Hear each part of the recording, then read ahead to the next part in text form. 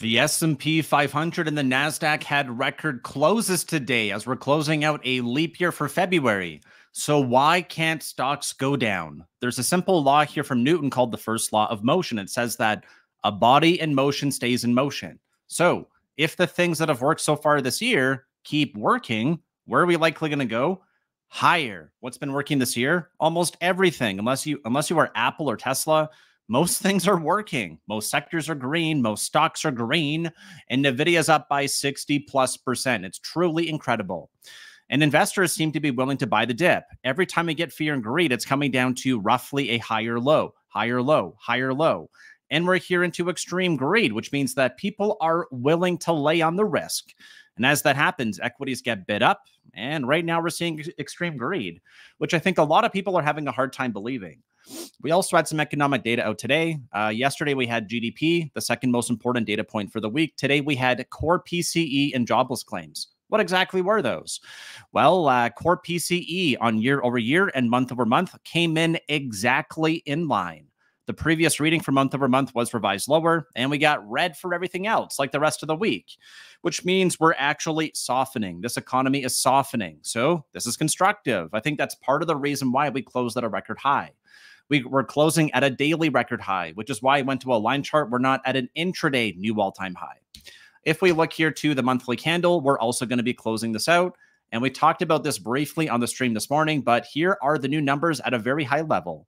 If we're going to go to a new monthly higher high or get a green light, we have to be at 511.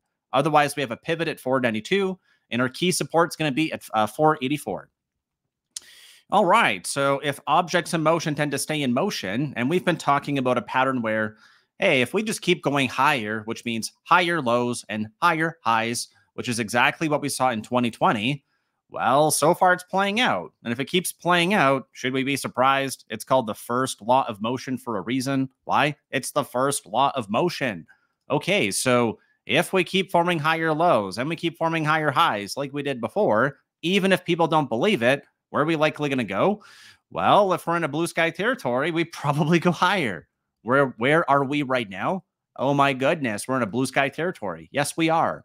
So I know it's hard to believe. I know you might want for us to be lower, but that's really it. The reason why it's hard to go down is because objects in motion stay in motion. I'm repeating myself because I want you, I want to get this drilled into your head. The other reason why I think this is really notable is because uh, Wall Street is uh, paying attention to this. Have we seen anything shift in roughly the last week or two? I would say yes. First, we saw Goldman Sachs upgrade to uh, 5,200. Then we saw JP Morgan go to 52, UBS going to 5,400.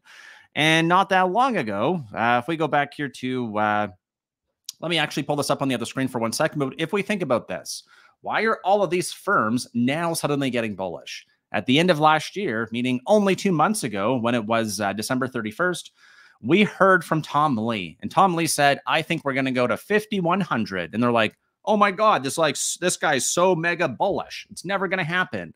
Now here's the current numbers. They're incredible. And as we're taking a moment here, I would encourage you to please smash a thumbs up, or if you want to consider subscribing to the channel, that would be greatly appreciated.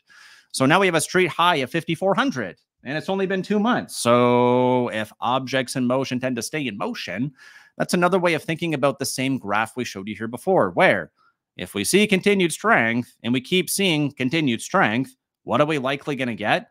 Continued strength. I know, right? Seems simple. And you might be a little bit late to the party, but uh, better to be late than never, right? If we look here to, uh, again, not that I know that this is for sure, but as we're hearing more evidence that it's 1995, look what happened in 1995 when we made a new all time high. Oh my goodness, we went up by 220%. Do you want to be left behind? Or if we're still in blue sky territories, do you want to fight it? Remember, blue sky territories are bullish. If you're unsure, again, follow me on Twitter. Here's my handle. You can see it right here. I have a pinned tweet. What does it say? It's a template for this year how to make money. What do we look for? Well, uh, don't fight the Fed. Pause is bullish. Pivot is to be, to be determined. All we've done so far is pause. Markets and new all time highs. Oh my goodness, it worked. Blue skies are bullish. Chips lead mega caps. Tech lead SPY. All those are crushing so far this year. Look, it's exactly what we would expect. This is what a bull market looks like. Okay. We have some assumptions here too. The uptrend holds and there's no lower lows. Again, if objects in motion tend to stay in motion, that's basically what we're talking about here, too. If we keep going up with higher lows and higher highs, we're probably going to keep going up. What proves it wrong? A monthly lower low closing below the low. So that would basically mean that the motion is no longer uh, working. And just like back in 2020, we got a pause.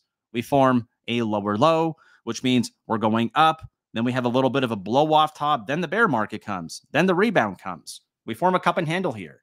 And I think a lot of people are having a hard time believing this. But here we are. We're going up. And as we look to uh, this data point, man, this is like incredible. We've talked a lot about this stuff on the weekend, so I'm not going to uh, to talk about that more. But stay tuned till the end if you want to see that clip. Otherwise, what I would like to do is to really just go through a couple of key monthly charts because I did update the numbers on this morning's stream. So if you want to see where those came from, again, encourage you to tune into that. It's on the channel if you want to see it. So here we have S&P, and because we're so close to uh, getting to this number here, let me actually make it really simple because I started this card earlier. Let's go here to uh, uh, monthly for uh, the S&P 500 monthly card for March of 2024. We are bullish over 511. That's an error. Let me fix that. It should be 511. There we go. So if we're below 511, what does that mean? It means that right now we're going to be in an annual green light, which means the 12 month chart, we're in blue sky territories, and we're going to be bullish over 4, uh, 551 if we're over the previous candle high with a monthly higher high. We're only three points off. We're so close. And remember, when candles close at or near the high of the session, what normally happens? Follow through. What did we get today? A record daily close, which means we should able to get momentum tomorrow. So as I noted in I noted in previous months, we're likely going to get a monthly higher high. The question is whether or not we hold it. So if we stay in motion and we're over 511, green light, we're on the highway and we put our pedal to the metal. We go fast. If we see a yellow light, what do we do? We put our foot over the brake, right? We're cautious. Maybe we're not putting on the size or the number of positions we had before. Yes. And then if we get below 484, now we're seeing that the objects are no longer in motion, right? The pattern might be breaking. So if we're currently at 508 and we only need three more points to get the 511, I would exercise caution. That's what I would say. Same thing for the NASDAQ. We're looking at QQQ here, and we note that we got uh, 441. We closed at 440.59. Where are we? Oh my goodness. Sorry, where are we here? Uh, we closed at 439.21. So we're within two points or less than half of 1% to make it to a new all time high. We should be able to get there. There are some things which are causing me some, some concerns, particularly the dollar, but this just looks like US exceptionalism where everything's going up. I want to see what happens here into the new month. And then finally, we got the 10 year note, which for me, this one is the one that I'm probably a little bit more worried about than others, especially with that uh, PCE print we got out today. We have a monthly bullish engulfing candle, and we're over the previous candle high for the 10 year note. This is the one thing that I do not like to see. So, with that said, I encourage you to watch the weekend review now queued up on the left hand side. If not, tune in at three o'clock tomorrow for the closing hour stream. Thank you so much, and good luck until the Friday.